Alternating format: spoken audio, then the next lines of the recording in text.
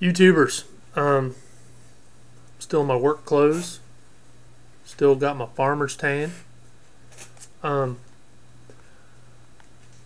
I've had great difficulty lately because um,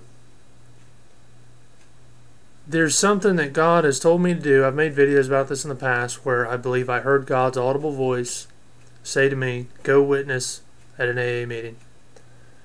And I've had a great difficulty actually doing this, you know, forcing myself to do this. I don't know if it's fear or if it's what, but I've had a great difficulty making this, you know, forcing myself to do this, you know. But I just, I'm trying to determine in my mind that I'm going to a meeting in less than an hour. So obviously I need to get in the shower. Um, but just for this alone, uh, you know, there's so much more that I could say to you. Uh, I was falling asleep one night, and you know that place kind of between being awake and being asleep. There's kind of that place in the middle where weird things happen. um, I, you know, kind of fell asleep, and I heard, you know, just open your mouth and I will fill it. You know, and I, I came across that verse. I don't have it right in front of me now, but you know, Jesus said, "Don't worry about the things that you're going to say when you come before these people, the rulers, the kings, whoever, you know, because I'll give you wisdom to speak at that time."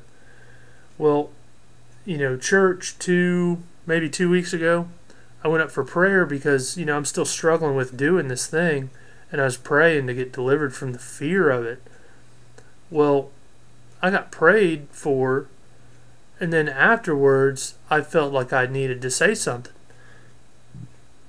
And for the first time I've been in that church, you know, I've been in that church over a year, they handed me a microphone. I'm like, okay. And, you know, I don't like public speaking, but I just kind of looked at the floor and looked up every once in a while and just spit out what I needed to say. But the Lord only gave me the first half of the first sentence. And what I said was, Disobedience will make you miserable. You know, every time that I've had blessing in my life, it's because I was obedient to the Lord.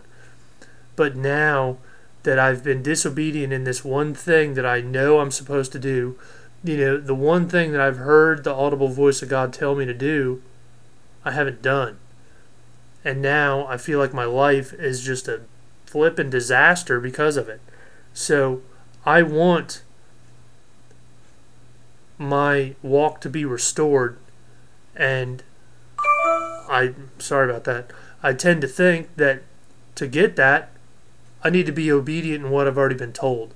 Now, don't go starting some argument over, well, you're saved by grace and not by works.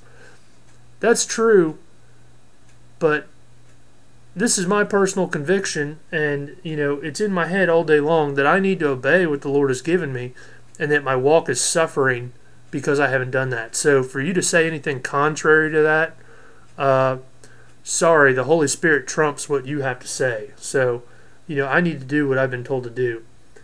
But I was just praying, and this is what I opened up to, and this is what I request of you, because I'm going to upload this, I'm going to get in the shower, and I'm going to go jump into the fire, you know, go jump into the thing here. So, here goes. Uh, this is Colossians 1, starting in verse 9.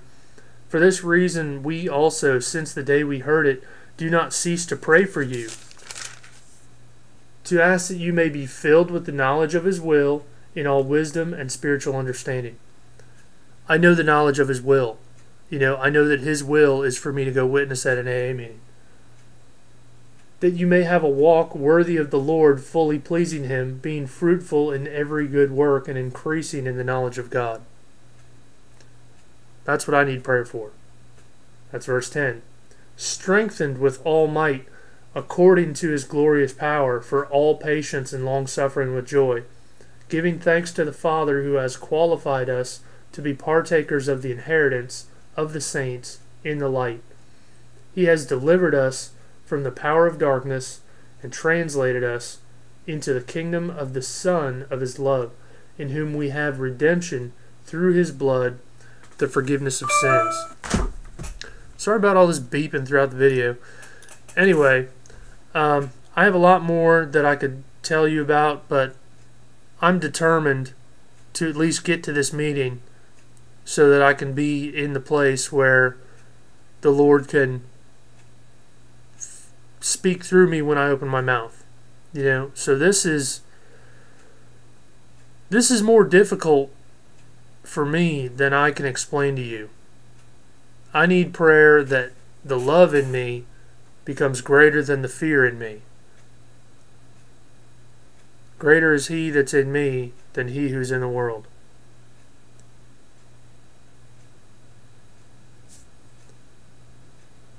I hope to uh, I hope to make some more videos here shortly. Uh, I have a lot of thoughts, but uh, don't have to wait until next time. I have something to do.